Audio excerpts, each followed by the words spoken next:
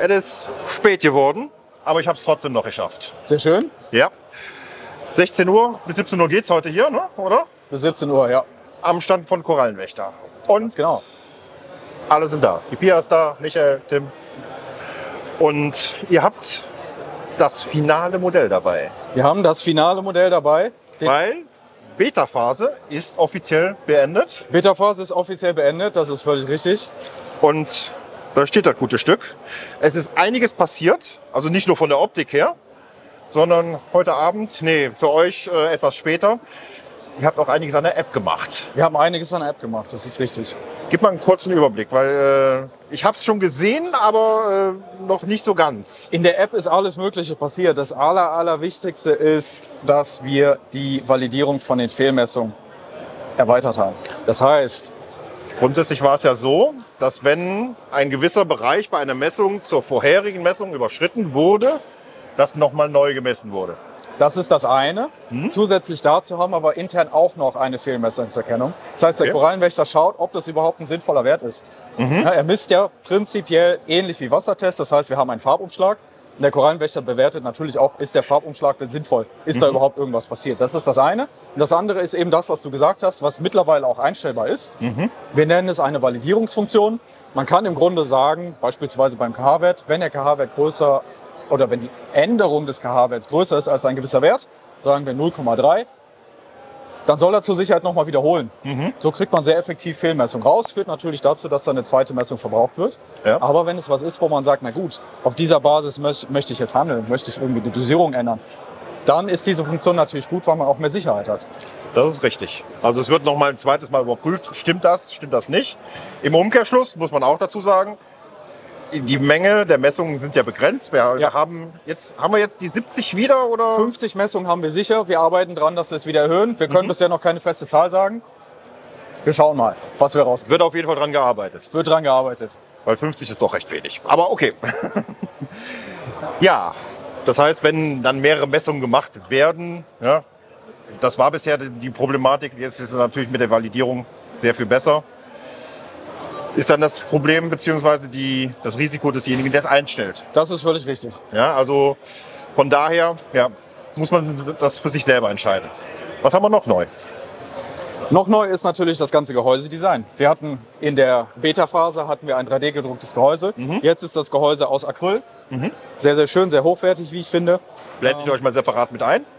Wir haben Änderungen in dem Kartuschensystem. Davor hatten wir Kartuschen mit zwei Konnektoren.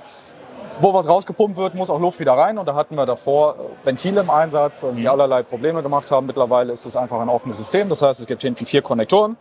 Das Ganze geht in den Korallenwächter rein. Wenn die Kartusche leer ist, wird, ist es wie gehabt so, dass man eine neue kauft. Die Kartusche kann getauscht werden, geht zu uns zurück. Was neu ist, es gibt ein Pfandsystem auf die Kartuschen, damit wir sicherstellen können, dass sie auch wirklich zu uns zurückkommen. Damit halt nicht so viel Müll entsteht. Genau, wir wollen Müll vermeiden. Die Kartuschen sind quasi mehr oder weniger für immer wieder benutzbar, solange bis eben eine Beschädigung dran ist. Sind aber prinzipiell so designt, dass man auch Einzelteile tauschen kann. Das war uns ganz, ganz wichtig.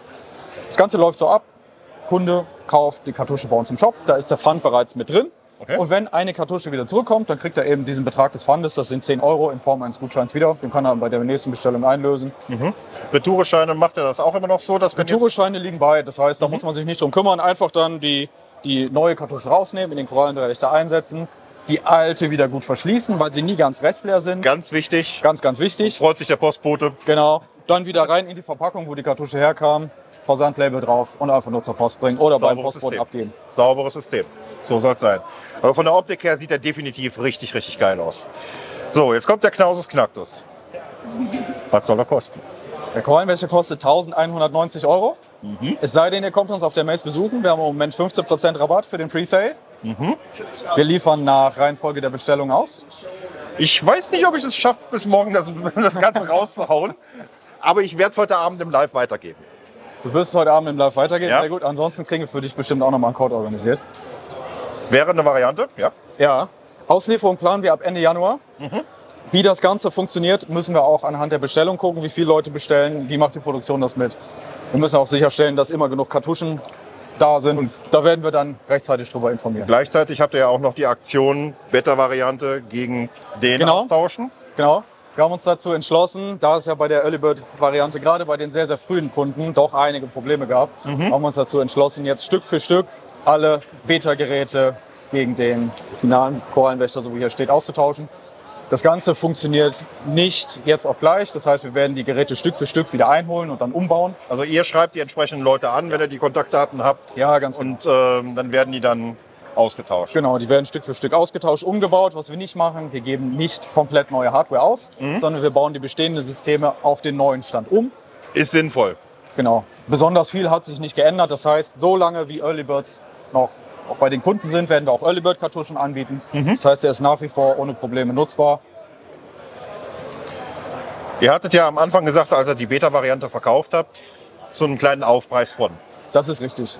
Der Aufpreis so- fällt weg. Der Aufpreis fällt Der weg. Aufpreis fällt weg. Also für alle, die den Early Bird haben und früh gekauft haben, ihr kriegt die Originalvariante, also sprich die finale Variante, so war's. Finale Variante. finale Variante, wird abgerufen und das Ganze kostenfrei. Ganz genau. Das ist doch mal ein Wort, oder? Genial. eine Ansage. Grundsätzlich muss ich auch noch mal hier auch noch mal darauf hinweisen, habe ich festgestellt oder haben wir, nee, habe ich festgestellt mit meinem Gerät, das nämlich immer doppelte Messungen äh, gemacht hat. Das, deshalb habe ich gerade eben so auf die doppelten Messungen gepocht. Ähm, das Wasser tatsächlich da zu entnehmen, wo es ungefiltert und unbearbeitet äh, an den Probenschlauch rankommt. Ja, das ist ganz, ganz wichtig, dass wir möglichst wenig Störeinflüsse haben. Das sind teilweise auch so Sachen, wie man, wo man gar nicht mit rechnet. In deinem Fall war es zum Beispiel der Fließfilter. Der, der Nano-Fließfilter. Ich habe dahinter entnommen, so nach dem Motto, ist ja gereinigtes Wasser. Aber grundsätzlich hatte ich immer ein bis zwei Messungen Grundsatz. Also teilweise hat er auch gesagt, ja, außerhalb des Messbereichs. Und das ist tatsächlich das Fließ gewesen, was im Endeffekt noch was ins Wasser gegeben hat, was die Messung beeinträchtigt hat. Muss man wissen. Ja. Weise ich ja dann aber nochmal drauf hin. ja, super. Ihr habt auch noch weiterhin eure Wassertests im Angebot. Die sind weiterhin im Sortiment. Auch da legen wir großen Fokus auf Nachhaltigkeit. Sehr, sehr hochwertige, sehr, sehr langlebige Dose. Ich selbst benutze meine schon seit drei Jahren. Da ist absolut nichts dran. Die ist quasi wie neu. Refills kaufen im Prinzip Genau. und dann weiter benutzen. Ganz genau.